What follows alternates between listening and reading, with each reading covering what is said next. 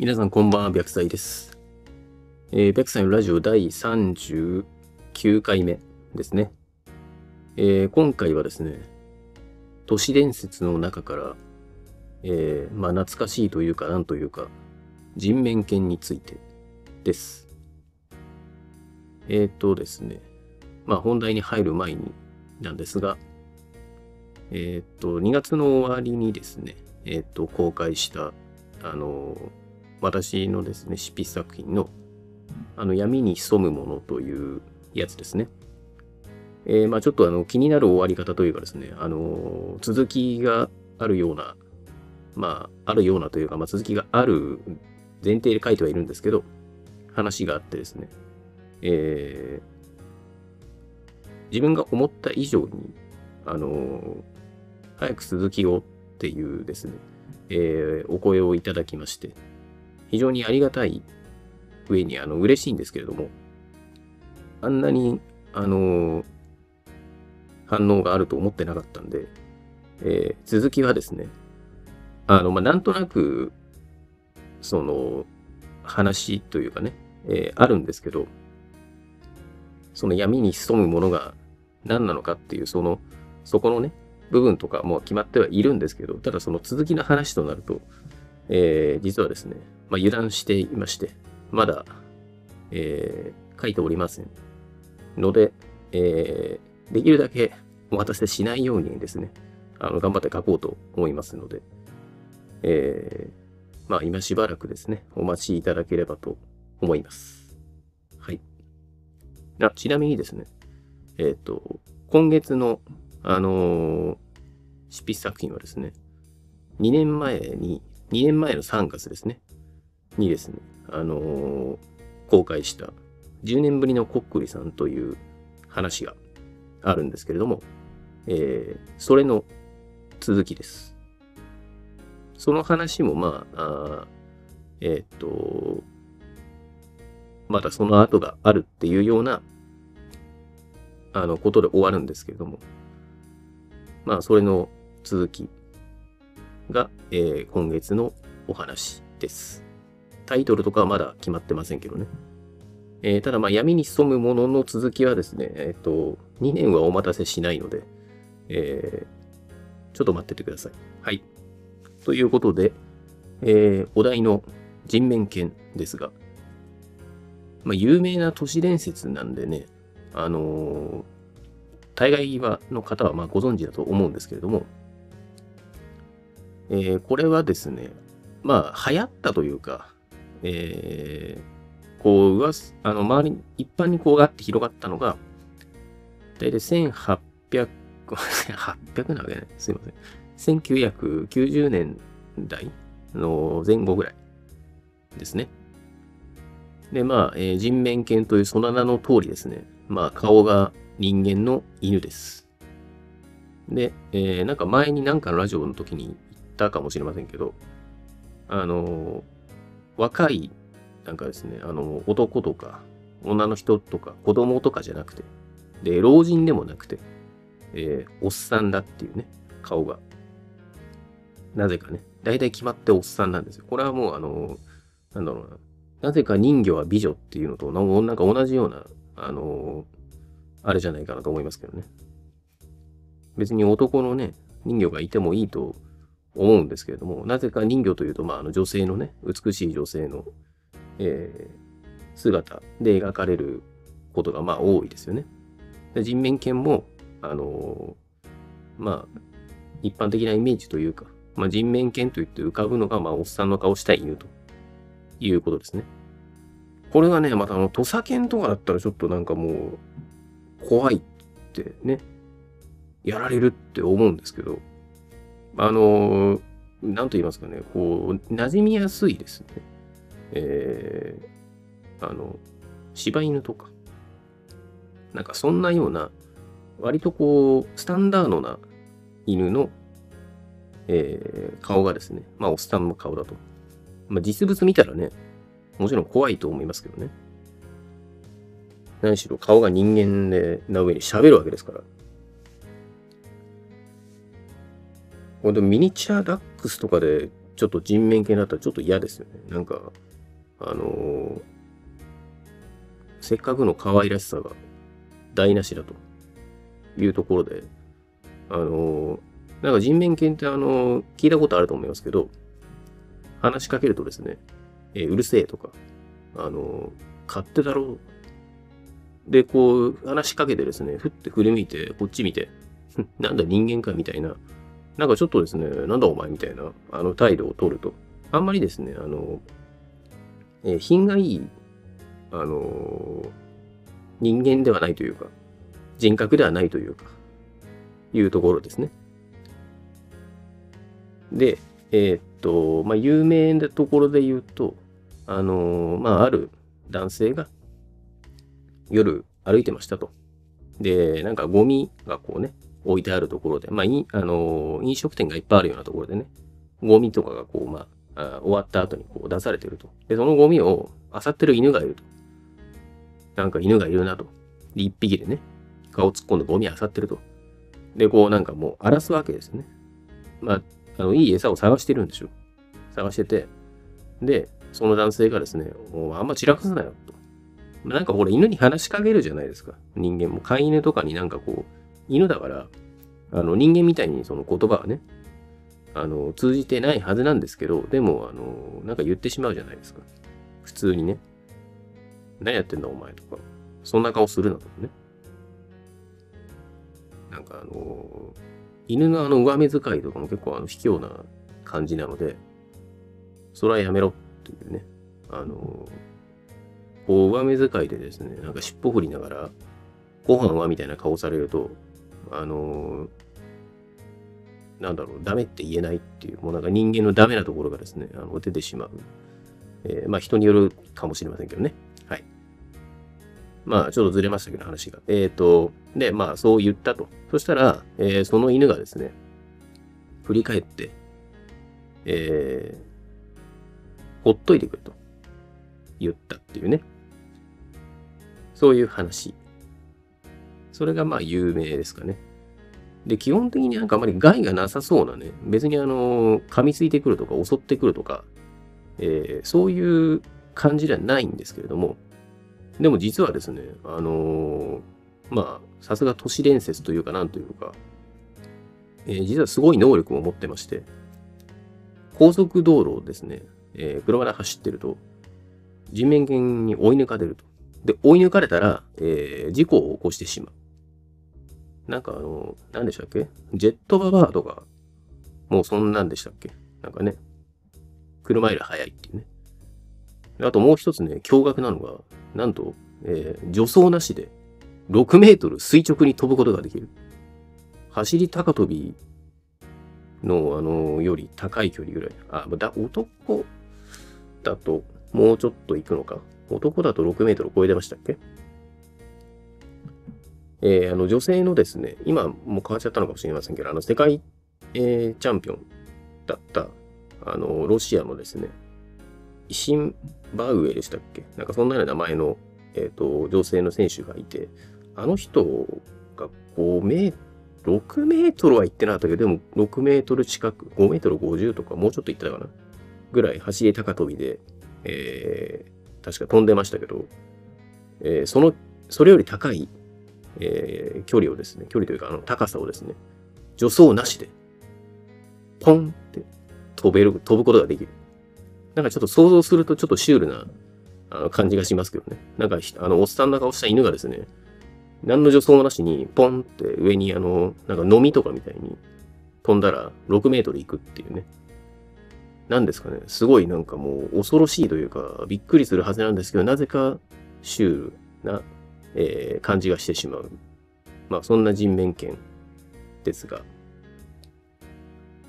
もうなんか、どうやって生まれたとかっていう話になってくると、まあ、やっぱり、えー、どっかの、そのなんか実験所から逃げ出したとかね。あと、まあ、なんか、えっ、ー、と、えー、死んだその男の霊が犬について、えー、で、人面犬になったとかね。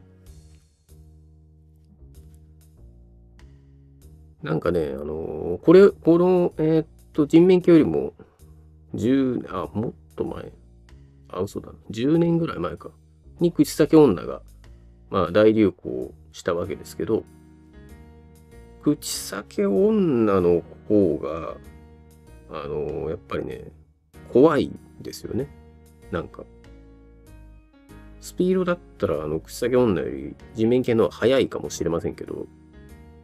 でも、あの、口裂け女はね、最初聞いたとき確かに怖いなと、まあ、えー、思いましたけど、人面犬はですね、まあ、口先女の話を聞いたときよりも、その、年齢がね、言ってたからというのも、子供とはあるかもしれませんけど、でも、あんまり、あの、なんか怖くなかった、人面犬は。なんか、その当時からちょっとネタっぽかったというか、えー、そんな、なんか、覚えがありますね。で、同じ頃になんか、あのー、まあ、人面犬が流行ったせいか、えー、あの、恋とかで、ちょっとこう、恋っていろんな模様があるじゃないですか。で、えー、その模様がですね、人の顔みたいなね、模様してると、人面魚だってなんか騒がれたりとかね。でさらにそっから数年後に、あのー、あれなんだっけ、ドリームキャストかな？ゲーム機ね。セガがセガはもうあのハードを作らなくなっちゃいましたけど、えっ、と、セガが作ってるドリームキャストというゲーム機があって、それの、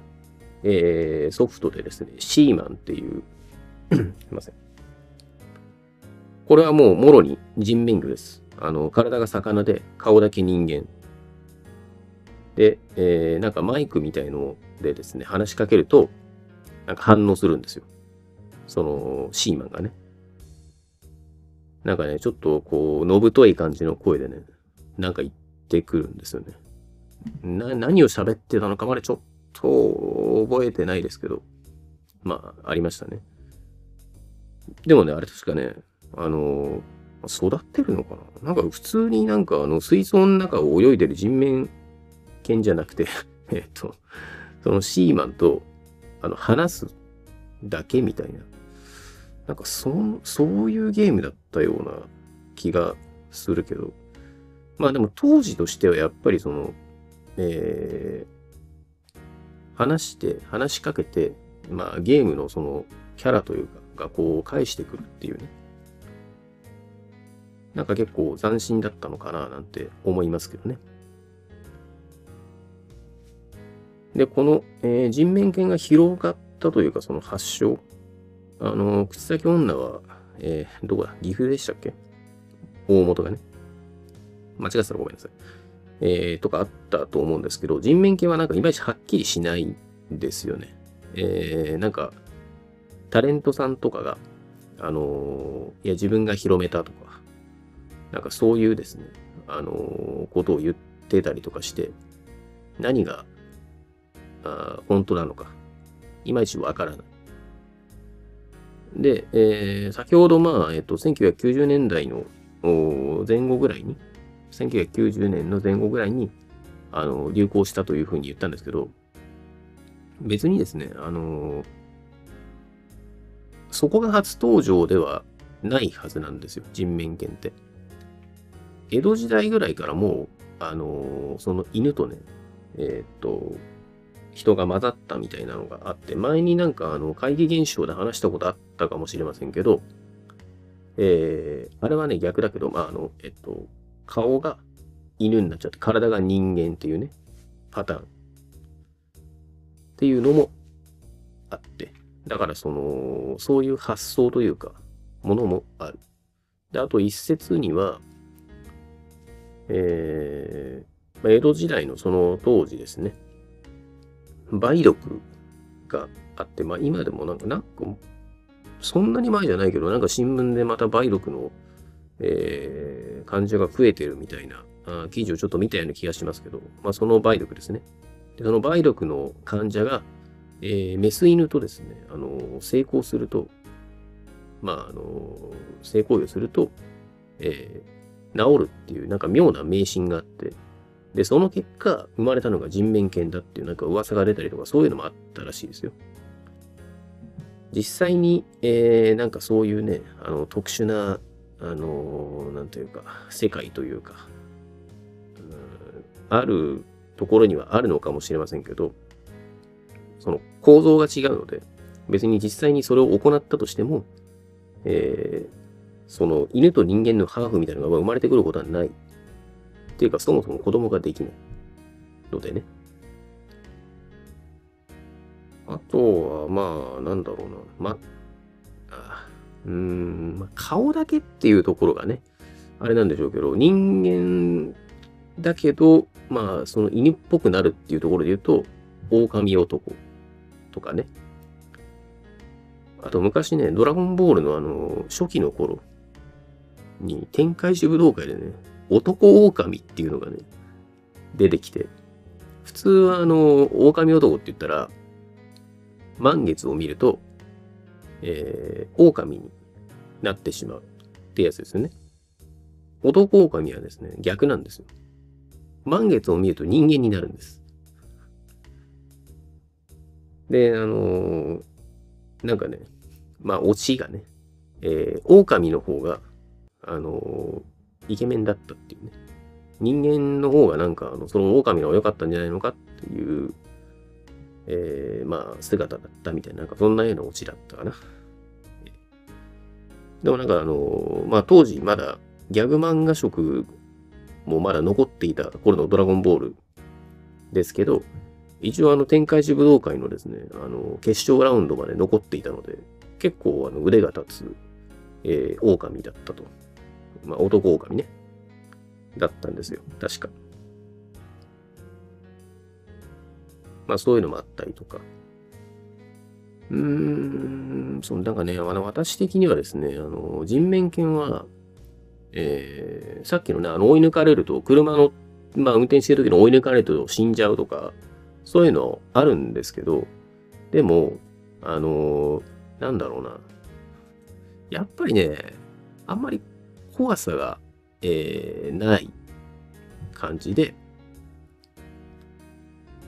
ふとね、あの、浮かんだイメージがですね、なんか立ち飲み屋とかね、なんか普通にいそうな、あの、気がしてしまうんですよ。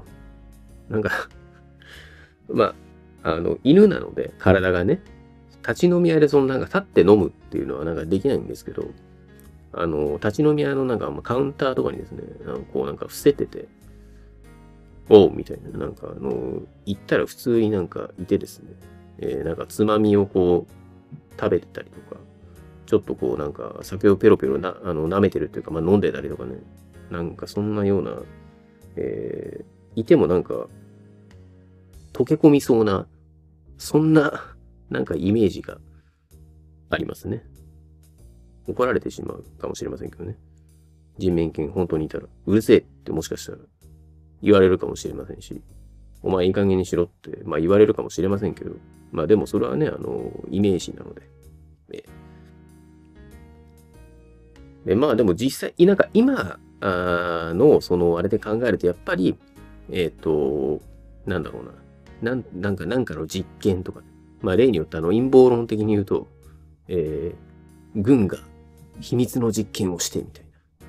やつとかね。まあ、あの、海外とかだと、なんか、ナチスのなんとかがとかもなんか出てきそうですけど、まあ、そんなようなやつですよ。遺伝子操作で、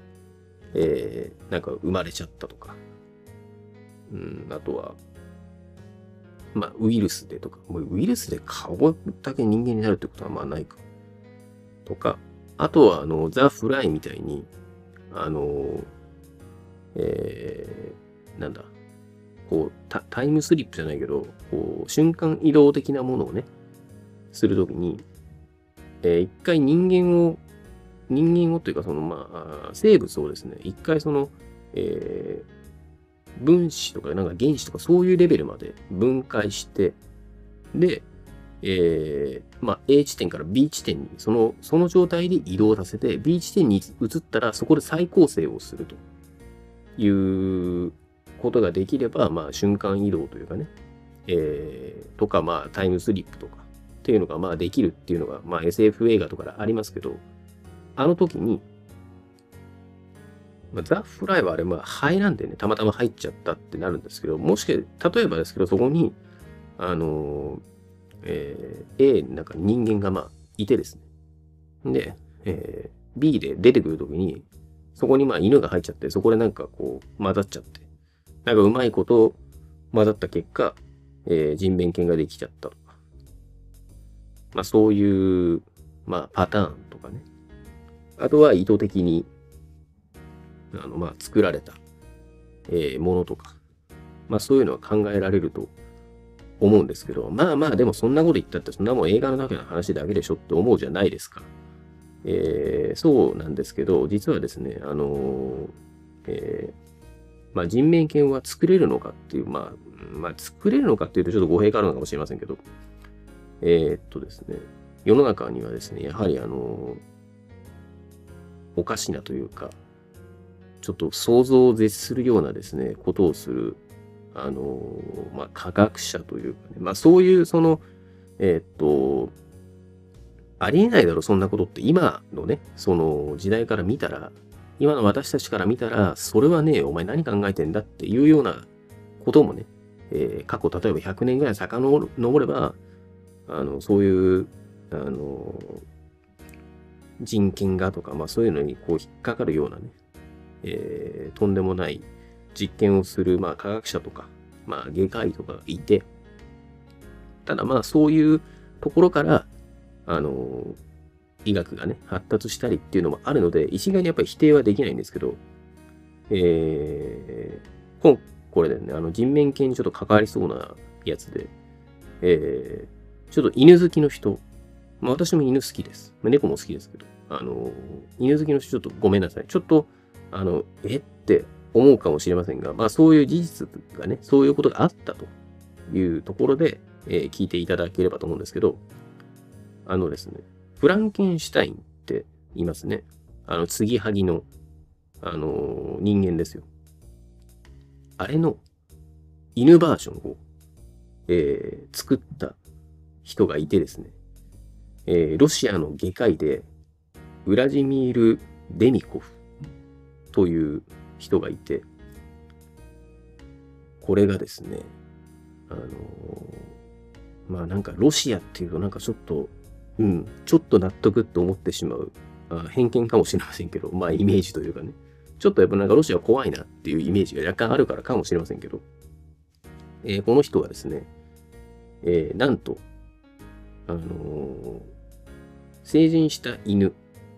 ね、普通に犬いますね。その犬に、えー、子犬を移植するっていう手術をやったんですよ。えー、このデミコフがですね、えー、とモスクワの、えー、外科学会にその研究の報告を、えー、したのがですね、1954年2月26日。えー、その8年前にですね、えー、彼は犬でその心臓移植の手術を行って、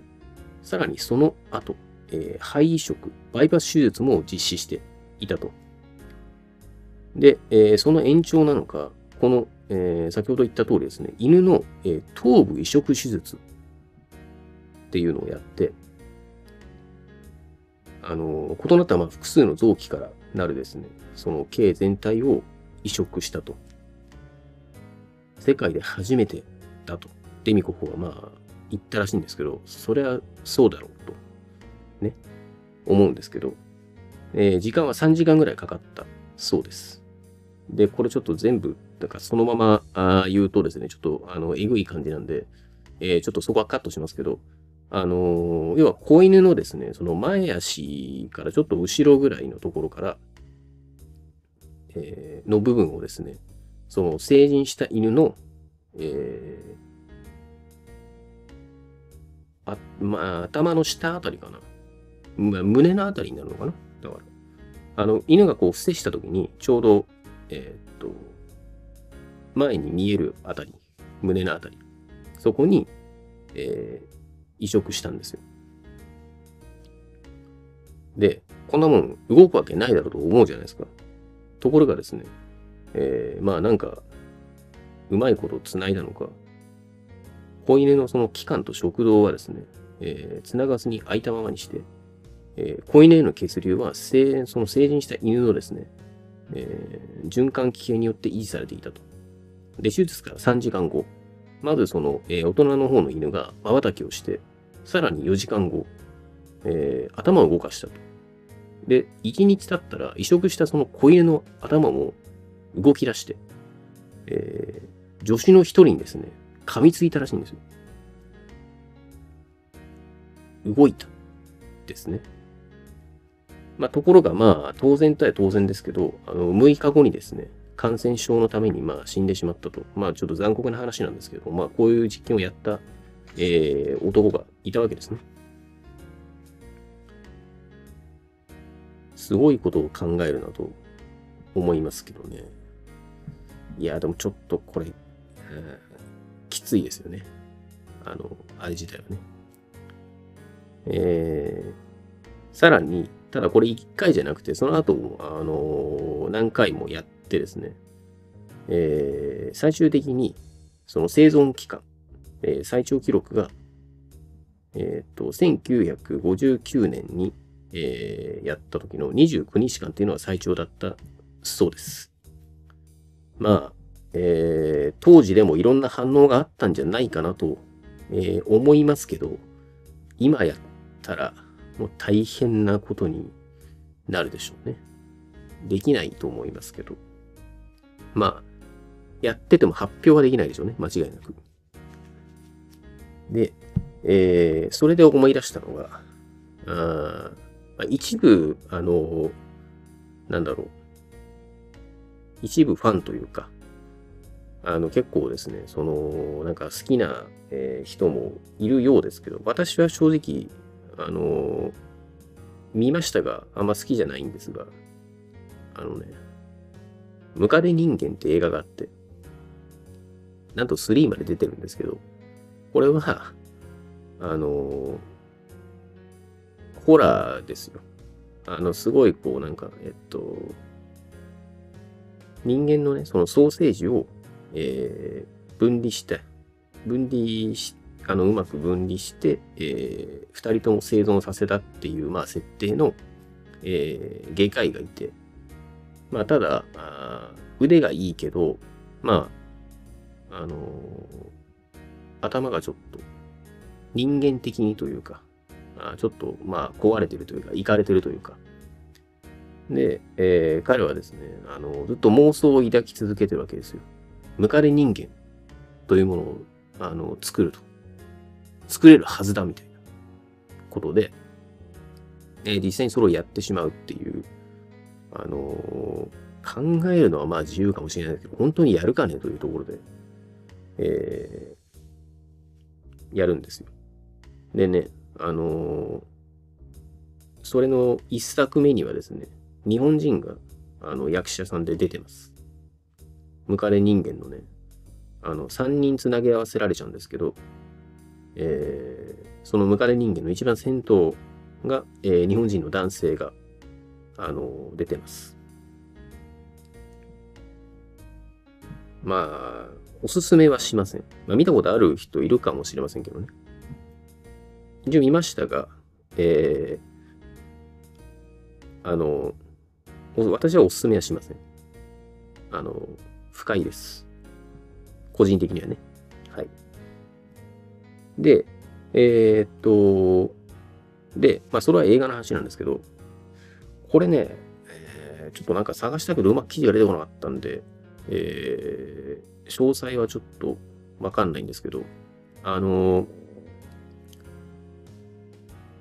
人間の首から上を、えっ、と、A さんの首から上を、あの、B さんの首、えー体に移植するっていう手術を、なんかね、やったのかやろうとしてるのかな。まあなんか、えっと、例えばまあ、うん、脳死しちゃって、体健康だけど脳死しちゃってとかっていう人のところに、あの、逆のね、えー脳は普通だけど、体がまあ動かなくなっちゃったとか、まあそういう、えーまあ、方がいたとして、それを、えっ、と、その頭から上、首から上だけ、えー切断して、つなぎ合わせて、動かすっていう、ほんそういうなんか映画みたいな話を本当にですね、試みている医者がいるんですよね、確か。チャイナの人だったかな、出身が。まあ、それについては別にチャイナだからどうこうとか、そういう話じゃないんですけど、あのーまあ、よく考えるなっていうのと、よくやるなっていうところで、で、なんか一定の成果が出てて、で、なんかあのーえーっとね、実際にその被験者になる人を、まあ、募集したら一応その自分がっていう、えー立候補があったらしくて、なんかそれを今度やるみたいな。そんなような記事をね、いつだったかな、あれ。何ヶ月か前だったような気がしますけど、なんか見ましたよ。すごいですよね。それで本当に動いたら、すごいと思うんですけど。やっぱりでも感染症とかね、その、まあ同じ人間とはやっぱり血液型とか、まあ、あいろいろ、その相性みたいなのもね、なんか相性っていうとなんかすごいざっくりな言い方になっちゃいますけど、この合う合わないっていうのがやっぱあると思うので、そんなことがまあ本当にできるのかって、できたらすごいなっていう話ですけど、ただなんかそれが完全にうまくいく頃には、もうあの、えー人工細胞で、例えば、えーなんか怪我で、えー指がね、ちょっとこう欠けちゃいましたとか、あなったら、なんかその人工細胞でそこを作って、なんか、例えば手をもう、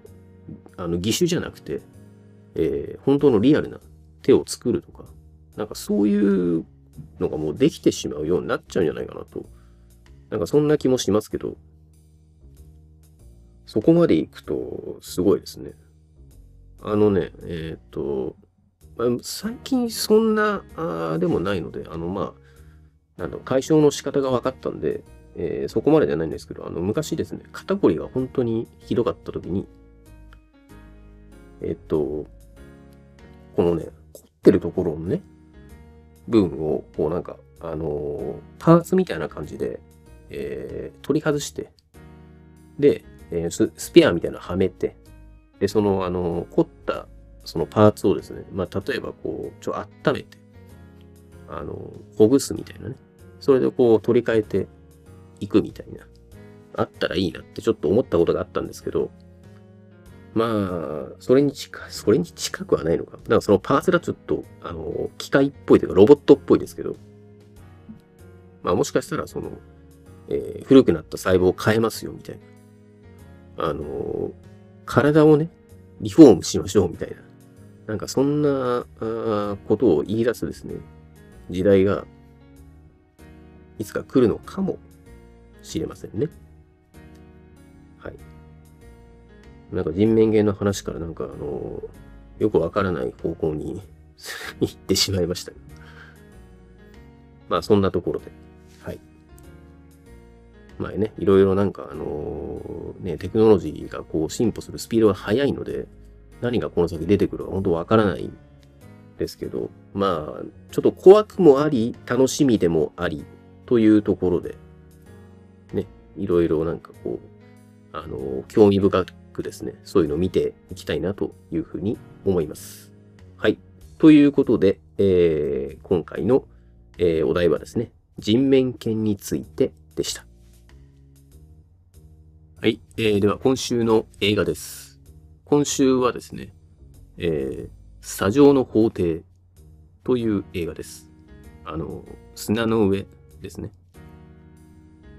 で、えーこれ、キアヌ・リーブスが主演の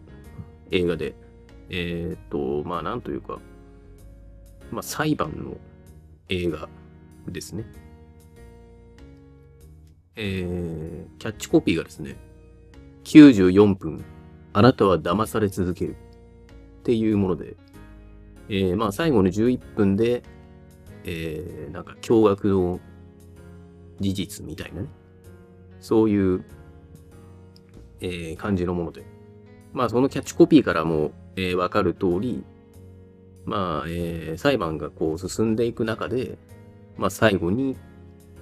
どんでん返し的なね、ものがあると。えっ、と、主演のキアヌ・リーブスはですね、ラムゼイという弁護士ですね。で、えー、彼が弁護をするのが、えー、父親を殺したというふうにされていて、えー、まあ、もう凶器に指紋もついているし、自供もしていると。で、警察はもうそれがあるから、えー、それ以上も調べずに、特に、他の犯人っていう可能性を特に考えずに、もう、あの、間違いないだろうということで、えー、まあ、逮捕して、で、裁判になっていると。えー、その、えー、父親を殺したという、まあ、犯人とされている、えー、子はですね、マイクという、16歳かなあ、17だったかなはい。まあ、法律家志望の、えー、少年と。で、えー、まあ、それでですね、まあ、その、彼が犯人に間違いないということで、えー、やっていく、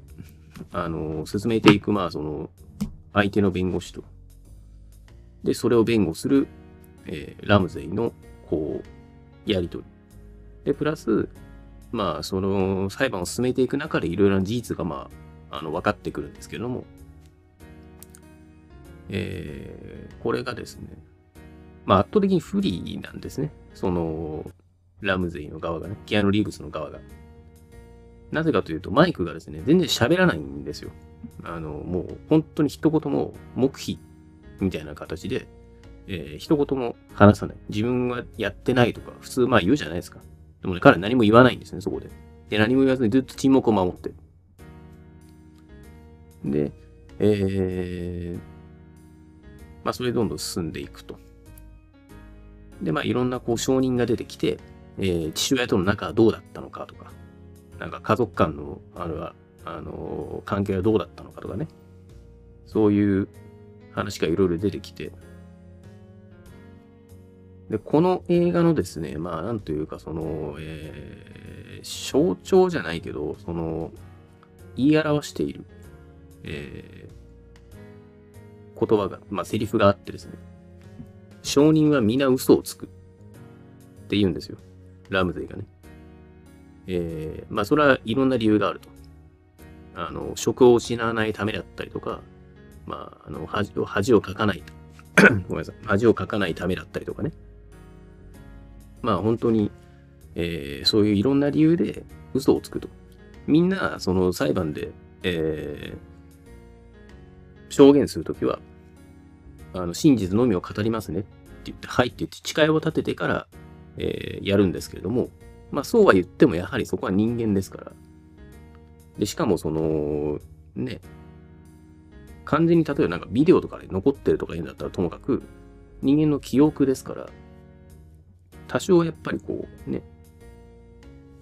あの、曖昧な部分があったりとか、何かと混ざっちゃって、えー、違うね、あの、真実は違うことだったりとか、で、まあいろいろあるわけですよね。で、この証人は皆嘘をつくというところで、えー、最後まで見ていくと、あのー、まあ、誰がどういう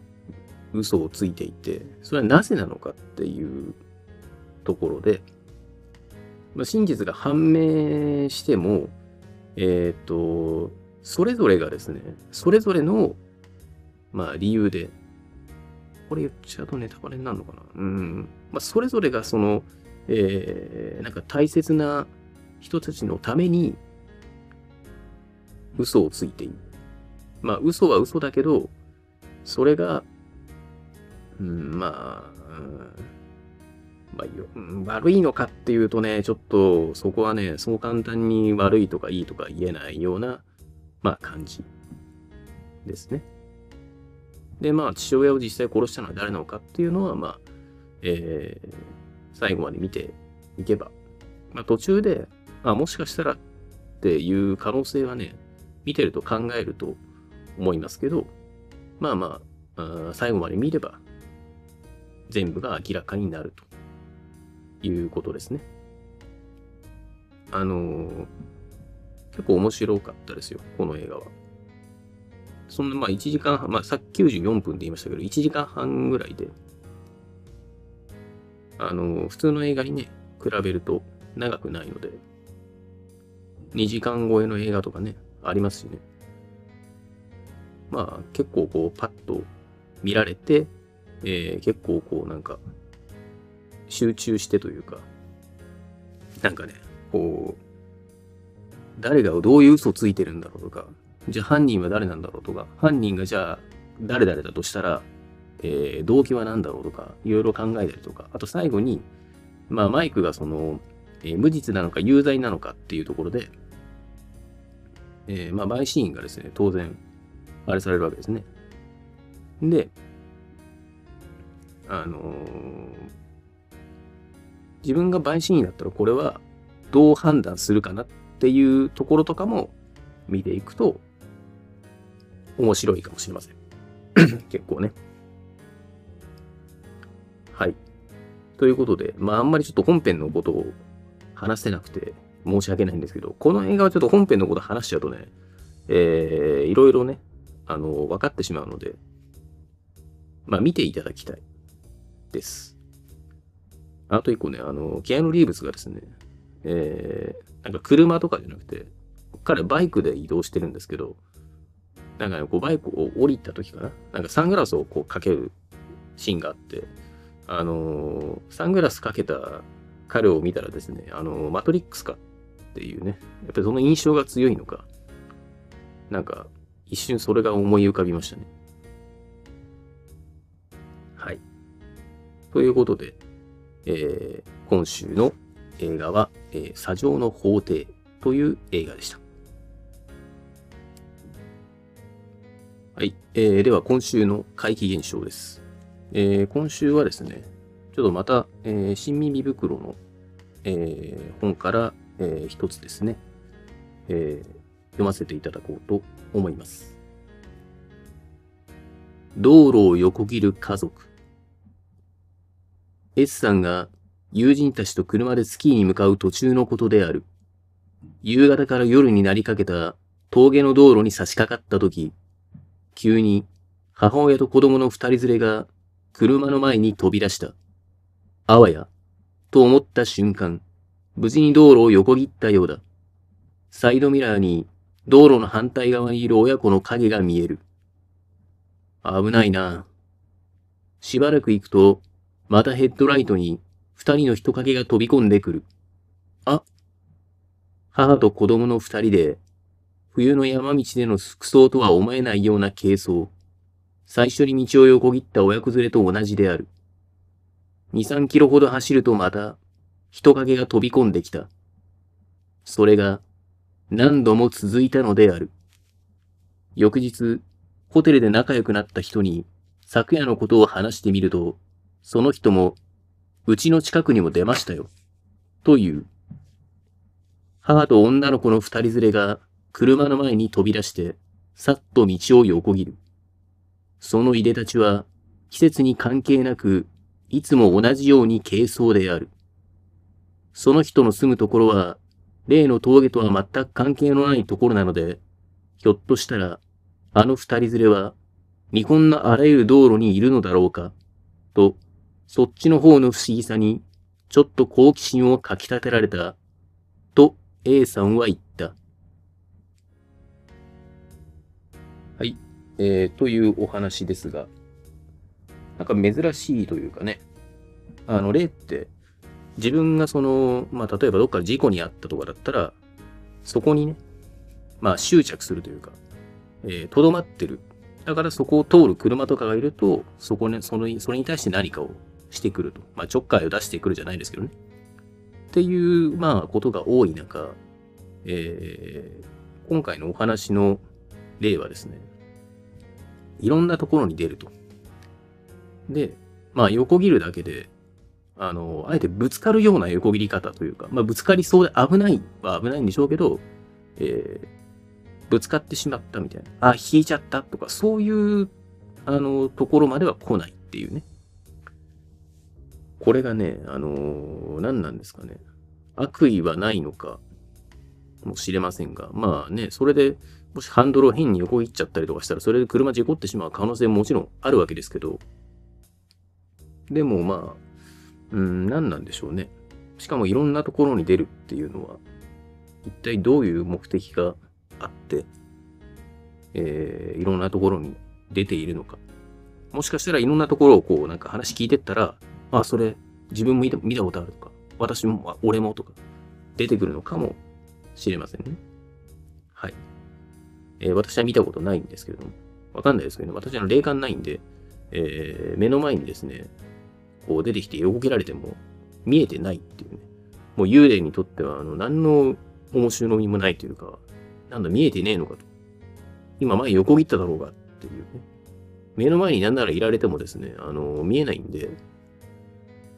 あの、全く気づかないっていう。まあ、そう考えると、まあ、幽霊がですね、あの見える人を見つけると嬉しくなってしまうっていうね。で、ついてっちゃうっていうのも、まあなんか、うーん、気持ち的にはまあ、わからなくもない。言い悪いで言えば、良くないですけどね。ついてきちゃうって。はい。はい。えー、ということで、今週の怪奇現象は、道路を横切る家族でした。えー、最後はお知らせですが、えー、先週もお伝えしましたがですね、あの、毎週木曜日20時に公開している、えっ、ー、と、ショートショートは、えっ、と、4月の一番最初の週が200回目なんで、えー、それを最後にですね、え、ちょっと、え、ショートショートの方はもうそこで終わりとさせていただいて、えー、ただまあ、ショートの詰め合わせ、そう、あの、それについては、あの、まあ、毎週日曜日のですね、えー、朗読 BGM の方で、えー、極力入れていくように